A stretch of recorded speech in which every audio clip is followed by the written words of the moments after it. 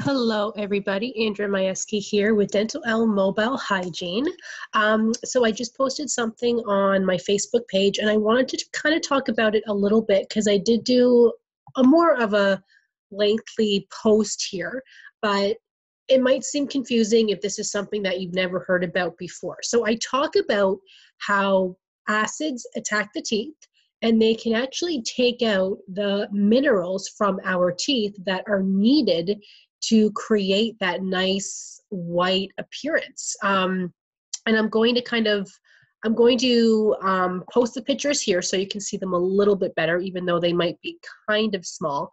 But so I'm going to go through. So I posted three different photos. One here where there's white spots, another one where there's brown spots towards the gum line more, and then another one where there's um, overall um, chemical um, erosion on the teeth. So if you notice that shinier appearance, that yellowy kind of shinier appearance where it, it looks as though the enamel has been taken off. So just to make note, these are not pictures from my patients. Um, these are pictures that are like pictures that I take of my patients because I didn't think that anybody would appreciate me posting their teeth, even if they did give me permission. I don't want to do that and then talk about how unsightly something might be because that's not very nice, right? So I just kind of took these from the internet that have allowed me to share and talk about it. So let's start with the first photo here.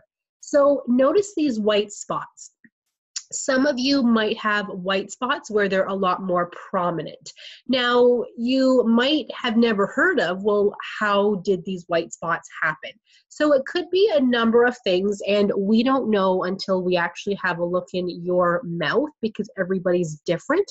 But it could have happened if you had, if you were sick as a child, or if you were on antibiotics often as a child when the teeth we're still trying to um, develop in the mouth because anything we consume while our teeth are developing really impacts how our teeth will come through. And that's the sad, I guess, part of it where we just always have to be careful. But if you're sick, if you have to be on antibiotics, well, you can't just not go on antibiotics because you don't want your teeth to look a certain way, right? So in this case, it likely happened when they were on a lot of antibiotics as a child, or even this could have happened as simple as them not having really good oral hygiene care as a child, as a teenager, where if plaque sits on the teeth too long, it can start to eat away and create these white spots, or in a more severe form,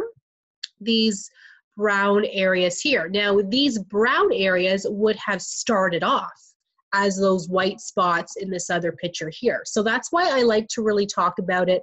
That's why I I probably talk a lot with all of my new patients because I want them to really understand what's happening inside their mouth. And, you know, 99.9% of the time, patients will say to me, Oh my goodness, I didn't know that. No one ever told me what these white spots or these spots were actually caused from. I just thought that's just how my teeth were. My mom had teeth like that, or my dad had teeth like that. I just thought there was nothing I could do about it. But there's always something you can do. So, moving back to this white spots, these white areas here. So, more often than not, if you have these white spots now, um, depending on how long you've had them for, there's a toothpaste that you can start using two to three times a day that will actually help to make those white spots look a lot less even make them disappear entirely. But more often than not i see them where give it three months and those white spots are a lot less where yes you can see them but not as clear as you can see them now but the key is using this toothpaste two to three times a day. And I don't know about you, but if I had white spots like these and I was self conscious about them, well, I would be totally fine using a new toothpaste three times a day, even if I was only brushing twice a day with my favorite toothpaste. If somebody told me that I just had to use another toothpaste and brush even three times a day for these white spots to look a lot less obvious, I would be like, okay, wow, awesome, like sign me up. Even if it takes three months, which is a long time, but to not have those, that would be amazing, right? And you have to think too well what are those why are those white spots there? So what happens is when there's acid attacks in the mouth so if somebody has a lower ph in their mouth to begin with anything that's touching the tooth from you know eating um, drinking anything it can sit on those teeth longer and it basically eats away at the tooth over time. These white spots simply mean that those minerals that are needed to build up the tooth again just haven't had a chance to build things up long enough because we all have certain proteins in our saliva which causes those minerals to be built up again over time. But if it doesn't have a chance to actually work because that acid attack keeps happening, that's what happens here. So it could be caused from when the teeth were coming through in the first place as a child you might have had white spots to begin with but they're not going to get any better if those acid attacks keep happening. So you might be thinking well what's an acid attack? I've never heard of this ever. Let's just say you have a, um, a pop you have a soda once a day. Those that acid attack from that soda is a lot. You know, pH of you know, um, Coke, Pepsi, let's just say is a pH of 2.3. We want our mouth to be a pH of a 6 or a 7 because that's neutral. For a cavity to actually start to form, or these white areas here, you only need a pH of 5.5. So when you're drinking a pop that's 2.3 or having um, candy, having coffee, which can be acidic, having tea. Um, that's always causing that acid attack in the mouth. And acid attacks, unfortunately, last for 20 minutes. So if you're having a sip of that um, tea now, that's 20 minutes of that acid attack happening, eating away at those teeth. And then 20 minutes later, if you have another sip, well, that's another 20 minutes. So you probably heard as a child, if you're going to eat candy, eat it all at once because it's one acid attack. That, that's not the healthiest for you, but for your teeth, that's actually healthy. Because if you have five, you know, candies from Halloween, having one now, one in half an hour, one in two hours, that's you know, always an additional acid attack. But there are toothpastes out there, as I had mentioned, that that can actually help to neutralize our pH and form a thin layer over the teeth. So not something you can actually see, but a thin layer to help to protect the teeth overall from any acid attacks. So I like to tell people it's as if you were to wax your car. You know, um, the wax is meant to protect the car from the outside elements. Well, that's what this toothpaste is. Do you need the toothpaste? Well, no, I suppose not. But if you are using that toothpaste, your teeth will look so much nicer and be protected because of that. So when things get a little worse, you know, for lack of a better word there, you see brown areas here. Now, a lot of people would look at those and say, oh my gosh, I have a cavity. This does look like a cavity to me, but it's something that I would have to actually see inside the mouth.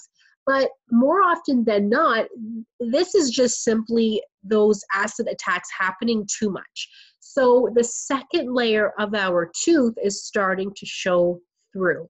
And once that happens, to cause a cavity, it can happen a lot quicker because our our um, tooth enamel, which is the main um, you know um, front surface of our tooth, is quite strong. But once those acid attacks keep happening, it can sort of break down and then now we see the inside l- layer which is like a yellowy browny color in some people once you see that a cavity can happen quickly. Any other acid attack can happen even quicker because the enamel is no longer there. But even in this case, the best thing to do is to use a different toothpaste to help to bring back those minerals that have been lost and to help to protect the teeth overall from acid attacks that might still be happening because we all have to eat, right? We all have to eat. And even if we're super careful, we have no sugar, we have no coffee, we have no tea. That's impossible, I think. But even if you're super, super careful, you know, there's acids everywhere because we don't all eat lettuce and more lettuce, you know? Oh, sorry, guys, that's just my dog. She's a little hyper. There we go. Um, you know, it will keep on happening. But toothpaste and using a mouthwash. So, in a case like this, I take it a step further and I say that they should be using a toothpaste every day, three times a day, and that will help to um, restore those minerals in those teeth. Plus, using a mouthwash at nighttime that has at least a 2% um, sodium um, um, um, fluoride overall to help to really build up the enamel over time. So there's xylitol. Um, xylitol is used in toothpaste to help to create a much healthier environment in the mouth and limit those pH acids from sitting on the teeth. But then you have to um, take it a step further, as I said, with the actual mouthwash, and that will help to build up the enamel over time. So this area could look like this one. So, yes, there's still a light yellow brown area here, but it doesn't look like this this i it looks like a cavity to me so that would have to be fixed anyway but this could lead to this if you're not careful. And then the next picture here. So this is um, chemical erosion on the top teeth. So look at the bottom teeth. Okay there might be some erosion here too.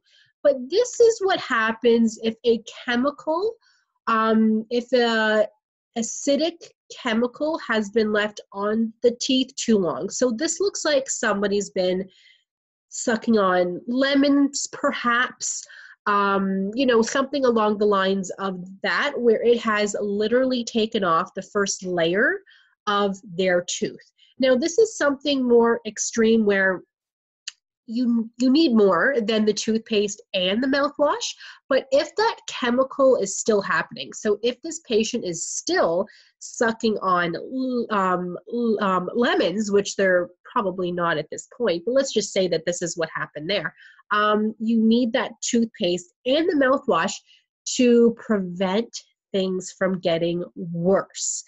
But when things get to this point i would suggest the patient have a crown, um, probably a crown on these two front teeth because the whole surface is pretty much not there. And if the patient is cold sensitive, that's likely why.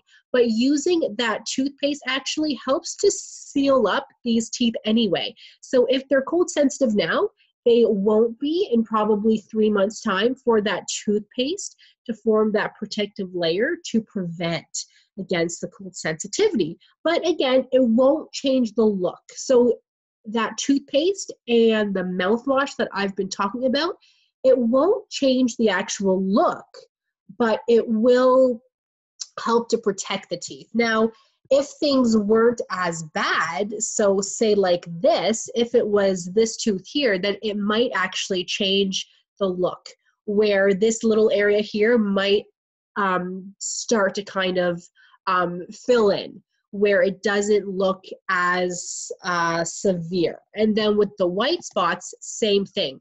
That toothpaste could actually cover up those white areas because these white areas are more exposed. So once the toothpaste helps to cover that that up, then the minerals are able to come back in and then the tooth won't be exposed. So um, actually, I'm just going to pause the recording for a moment and I'm going to bring up the toothpaste and the mouthwash that I think, um, you know, helps so, so much. So I'm, ju- I'm just going to pause this quickly.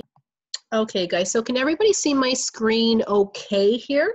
So this is a toothpaste that I probably recommend nine out of 10 of my patients. Like everybody should be using this toothpaste because our teeth need more than just simply, you know, like Crest, um, Colgate. I'm not saying that those toothpastes don't um, work because they obviously do.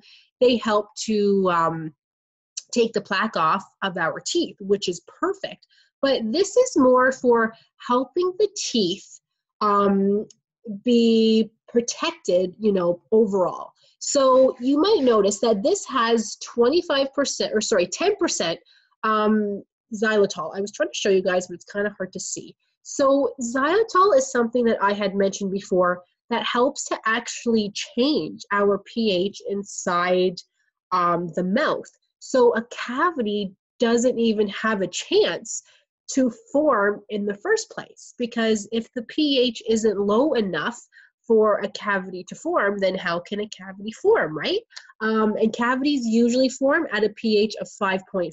So we want our mouth to be a six or seven, which is neutral. So 5.5 isn't much less. So that's why we have to be careful, obviously. If you eat anything with sugar, your pH will, you know, get a lot lower to probably a two or three. So a cavity could happen literally that minute. I hate to say it, but it's true. And then I just want to show you guys another product. So I talked about the mouthwash as well. Where is that here? So this this is the mouth um, the mouthwash that I talked about that will actually help to bring in um, that uh, protective layer also. So the toothpaste helps to protect our pH inside the mouth. So a cavity does not form in the first place. Plus, it does help to bring those minerals back into the teeth to have a more, you know, um, clean, smooth appear, um, clean, smooth appearance. Whereas the mouthwash helps pretty much overall to help to uh, protect the teeth and make things as you know as strong as possible. So I like people to use that toothpaste three times a day and the mouthwash every single night. This is perfect. Plus, which I did not talk about yet, but I like to apply a varnish um, when I'm seeing a patient. Here it is here. This is something that you cannot take home. So, this is something that, especially for kids, I like to apply the varnish every three months. So this is like the toothpaste and the mouthwash all in one and as potent as possible to help work its magic, you know, right away.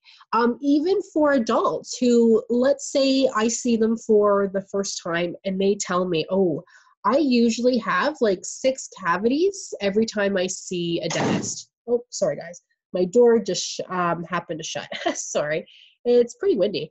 But um, anyways, so if I see even a child, an adult for the first time, and they say, "Oh yeah, I usually have like six cavities every time I go to the dentist," that's not normal. Even a child where they're two years old, you know, three years old, if they have a cavity, you know, yes, it does happen, but nobody wants their child to have a cavity. So this should be applied um, with me every three months to just help those teeth stay as protected as possible because a two year old and a three year old, you know, um, pretty much under the age of six. Um, a mouthwash they would not be able to use anyway because they would probably eat it, right? They could use that toothpaste, but there's a toothpaste specific for kids, which I love. I can show you guys that too. Um, when I see children where they have have had a lot of cavities, even if I see them and they do currently have a lot of cavities, this toothpaste is amazing because this will help to change the pH in the mouth. It has um, uh, xylitol 25%. So this helps to change the pH in the mouth plus helps to protect against cavities because if the pH isn't at a certain level to cause a cavity, then that bacteria that causes the cavity doesn't have a chance to cause a cavity, right? So this is perfect for children because they can't have something where they would eat it and then cause them to be sick, right? But for adults, I give them obviously um, this one here because it's just more for adults. It does the same thing, but it's a little more for adults and it just helps to um, protect the teeth against cold sensitivity, against everything. But what I like to apply in office is this here to really help to protect the teeth overall for children and adults. Now, unfortunately, the, the insurance companies don't typically cover this every three months, but I tell people all the time, you know, this may not be covered every three months. It's about $25. That's it.